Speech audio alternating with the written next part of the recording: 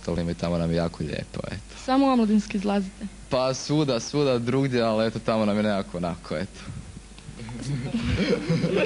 Dobro. A sada jedno oštro pitanje, pazite. Kako stojite u školi? Na nogama. A ne to. Mislim, A ovaj, da li... Pa dobro. Svi dobro stojite.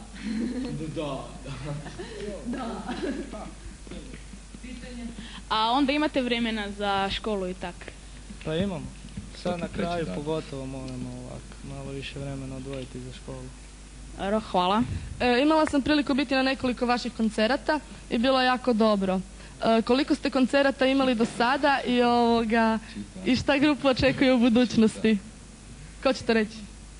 Pa, imali smo jedno sedam koncerata svi skupa, što na raznim mjestima to zbilja.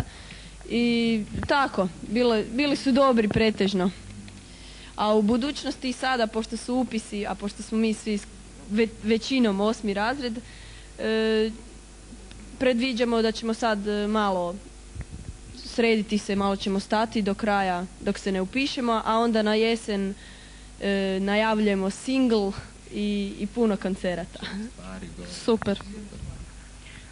E, vi ste jako mladi i obično svirate kao predgrupa nekim drugim bendovima. Kako vas tamo publika prihvaća? Pa tako, mislim da smo ovak dobro prihvaćeni. Hoćemo sad čuti još jednu vašu pjesmu. E, još jednom grupa Revolver i pjesma Noć u gradu.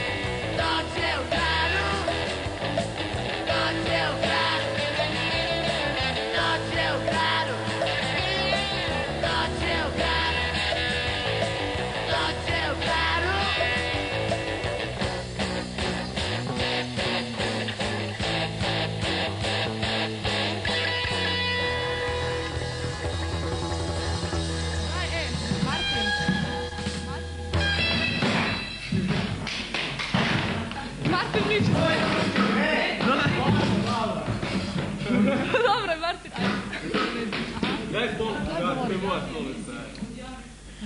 Ovo bi bilo sve za ovaj put.